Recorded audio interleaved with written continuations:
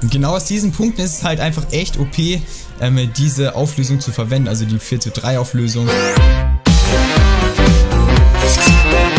Yo, was geht von der Freunde? Ich bin's mal wieder für Gaming mit einer weiteren Folge Fortnite Battle Royale. Ich habe mir einfach überlegt, weil ich zurzeit nur ein Format auf meinem Kanal laufen habe und zwar die besten Skin-Kombinationen in Fortnite und das ist zurzeit mein einziges Format auf meinem Kanal und deswegen habe ich mir einfach überlegt, ein neues Format aufzumachen, also ein anderes. Das alte wird auf jeden Fall noch beibehalten, aber auf jeden Fall habe ich mir überlegt, ein neues Format aufzumachen, was sich Fortnite Pro Tipps nennt. Also versteht mich nicht falsch, ich gebe nur Tipps von Pros weiter. Glaubt nicht, dass ich ein Pro-Spieler bin. Ich versuche somit ein Pro-Spieler zu werden, aber ich bin noch lange nicht einer, also wirklich noch lange nicht. Und äh, ja, deswegen glaubt es nicht, dass ich ein Pro-Spieler bin. Ich gebe nur meine Tipps, also die ich von den Pro-Spielern bekommen habe, an euch weiter. Und ich würde einfach sagen, dass ich heute einfach einen äh, Tipp mache, mit dem ihr besser aimen könnt, mit dem ihr eine bessere FPS erzielen könnt und mit dem ihr besser bauen könnt, äh, ja, zeige. Und das ist auf jeden Fall heftig. Das nennt sich einfach die 4 zu 3 Auflösung. Und ich zeige euch heute einfach, wie ihr die bekommt. Ich würde einfach sagen, fangen wir mit dem Video an und let's go.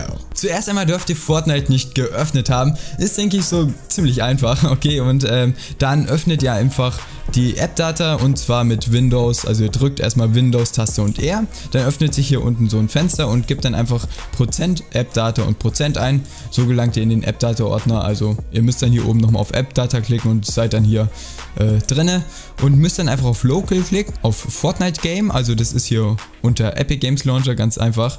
Müsst einfach draufklicken mit Doppelklick auf Saved, Config und äh, Windows Client. Und ähm, ja, dann kommt ihr hier auf diesen Game User Settings Ordner, müsst dann einfach Rechtsklick machen, also ihr müsst einfach einen Rechtsklick machen, genau, müsst dann auf Bearbeiten gehen und dann kommt ihr hier in den Windows Editor, also erschreckt euch nicht, sind ziemlich, ziemlich viele Zeilen, aber ihr braucht nur vier. Und zwar hier diese Resolution äh, Size Zeilen, exakt. Und ähm, da müsst ihr einfach eingeben, weil wir eine andere ähm, Auflösung haben wollen, müsst ihr einfach 1440 eingeben, genauso wie hier unten müsst ihr auch 1440 eingeben. Die 1080 könnt ihr beibehalten, genau, ganz einfach. 1440, genau. So habe ich bei beiden.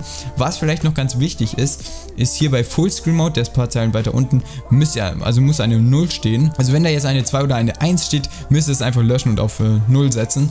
Exakt, dann geht ihr hier auf Datei, weil wir wollen es ja gespeichert haben, müssen auf Speichern klicken und dann ist das Ganze gespeichert. Um das Ganze nochmal ähm, verstärkt gespeichert zu haben, also dass man es nicht so einfach ändern kann, müsst ihr auf Rechtsklick gehen und auf Eigenschaften. So, dann geht ihr hier auf die Eigenschaften und müssen auf Schreibtisch geschützt gehen und das Ganze übernehmen und auf OK klicken, damit das alles gesichert ist. Wenn ihr jetzt eine Runde gespielt habt, euch das gar nicht gefällt und ihr einfach wieder eine, also eine andere Auflösung haben wollt, könnt ihr einfach wieder hier genau in diesen Ordner gehen, Rechtsklick, Eigenschaften und äh, Eigenschaften, könnt ihr dieses Häkchen entfernen und ähm, könnt es dann wieder zurückbearbeiten. So, aber wir wollen es ja haben, deswegen lassen wir dieses Häkchen da und äh, schließen jetzt das ganze, also die ganze Datei mal und brauchen jetzt noch eine Sache. Also wir machen jetzt hier nochmal einen Rechtsklick und gehen auf die Nvidia Systemsteuerung.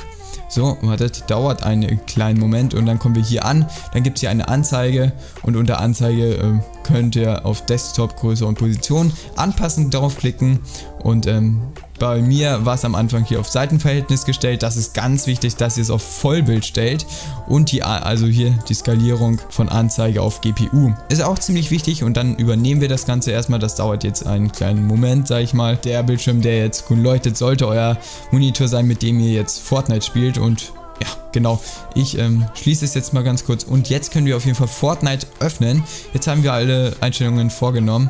Und ich öffne es jetzt mal ganz kurz. Wartet. Äh, ja, ich melde mich einfach, wenn ich drin bin, ne? So, in Fortnite angekommen, könnt ihr einfach mal sehen, dass das ganze Bild verzerrt bzw. verzogen ist. Und ja, genau dahin wollten wir ja eigentlich.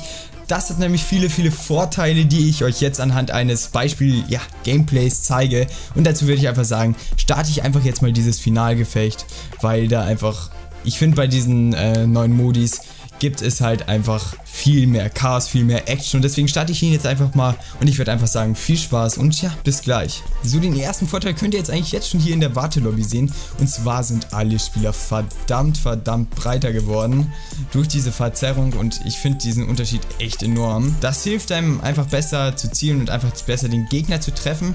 Das heißt, man kann sein Aiming da nochmal echt, echt, echt intensiv verbessern und verstärken und das ist schon mal der erste Vorteil, weswegen das auch viele Pros benutzen weil die halt einfach ihr Aiming dann nochmal echt verbessern können und verstärken können. Und auf jeden Fall der zweite Vorteil ist, dass man eine viel bessere FPS hat, also das Spiel einfach nicht so heftig leckt und einfach viel genauer und viel besser und viel ruhiger zielen kann und das ist halt auch ein echt krasser Vorteil auch für die Pro-Player, dass man einfach eine bessere FPS hat. Das wirkt wie so ein kleiner FPS-Booster und das ist echt schon, echt schon nice. Ich kann jetzt schon mal Holz abbauen, denn ich werde euch nachher anhand eines Bauduelles, eines Baufights zeigen, was allein schon diese Auflösung für das Bauen an Vorteilen mit sich bringt.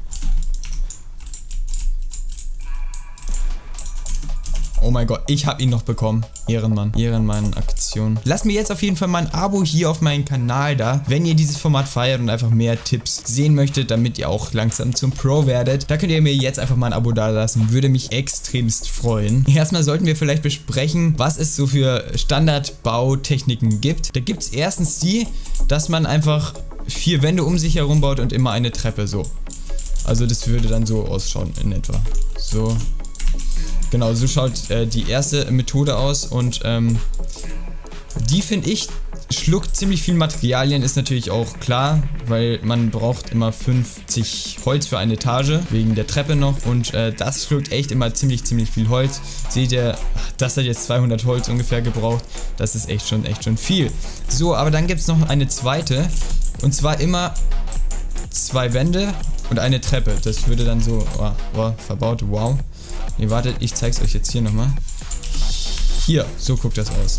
Und dann baut ihr euch so hoch. So, so, exakt. Ihr könnt dann noch immer äh, so einen Boden äh, hinbauen. Aber das sind so die Bautaktiken, die ihr echt damit auch äh, üben könnt. Und die halt dann mit dieser Auflösung echt viel einfacher sind. Das finde ich auf jeden Fall cool.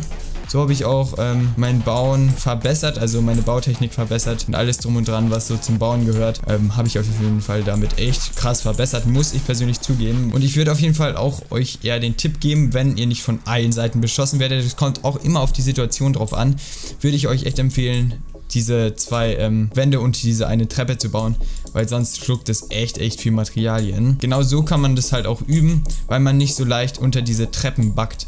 Das, was oft passieren kann, habt ihr auch bei mir gesehen, ist so, man baut, aber die Treppe kommt halt überall, also backt so überall drüber und das könnt ihr auf jeden Fall damit gut verhindern mit dieser Auflösung und es einfach äh, üben, wann ihr genau losspringen solltet, damit äh, ihr genau auf dieser Treppe landet. Man kann halt dann, man muss sich nicht so heftig jetzt auf dieses eine Bauen konzentrieren, sondern kann dann auch äh, verschiedene Bautechniken, verschiedene Angriffsmethoden üben, was sich auch ziemlich, ziemlich rentiert. Was man auch ganz nice üben kann, ist, wenn hier jetzt zum Beispiel der Gegner seinen Turm hat und man ihn pushen möchte. Dann kann man jetzt von unten zum Beispiel hier hochlaufen. So. Möglichst über einen auch noch. Also wenn euch die Chance gegeben wurde, dass ihr über euch auch Treppen bauen könnt, dann tut das auf jeden Fall. Nee, aber so, dann baut ihr euch hoch. Baut dann hier, also springt kurz hoch und ähm, baut dann halt so eine Platte über euch. Oh, wow, jetzt zeige ich euch was und jetzt werde ich gleich beschossen. Lasst mich doch bitte in Ruhe, Alter. Ihr fuckt ja mal auf anderer Basis ab, so.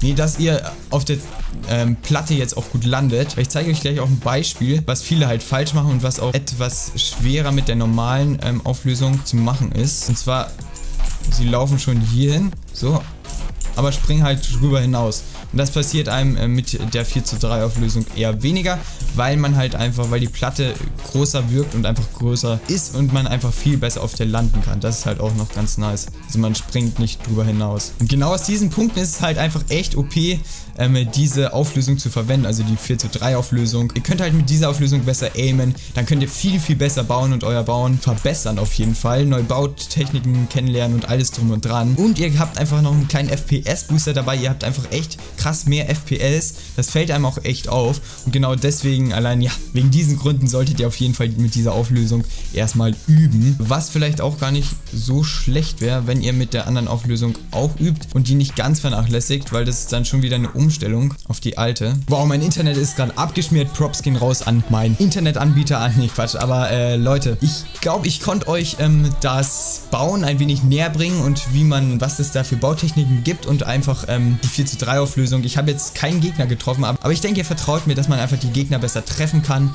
Das ist halt echt schon enorm. Also die drei Punkte nochmal zusammengefasst, man hat eine bessere FPS, also eine FPS-Steigerung, dann kann man besser bauen und sein Bauen einfach, ähm, ja, improven und halt einfach neue Bautechniken kennenlernen, alles drum und dran. Das geht viel einfacher mit dieser ähm, Auflösung und man kann halt einfach die Gegner besser treffen, weil sie breiter sind und so weiter. Da gibt es noch ganz viele ähm, Vorteile, die man auch durch diese Auflösung bekommen kann. Was der Nachteil ist, ist, dass man sich erstmal dran gewöhnen muss und dass man das nicht auf Pro-Turnieren spielen kann und dass es vielleicht ein bisschen unscharf ist, aber ja, wie gesagt, daran gewöhnt man sich auf jeden Fall. Ich denke, man kann das auch in Kauf nehmen, wenn man sich die Vorteile vor Augen hält. Und ich werde einfach mal sagen, lasst mir mal ein Abo da, wenn ihr mehr Folgen von meiner neuen Serie sehen wollt. Und ich werde einfach sagen, haut rein, bis zum nächsten Mal und äh, ciao. Boom.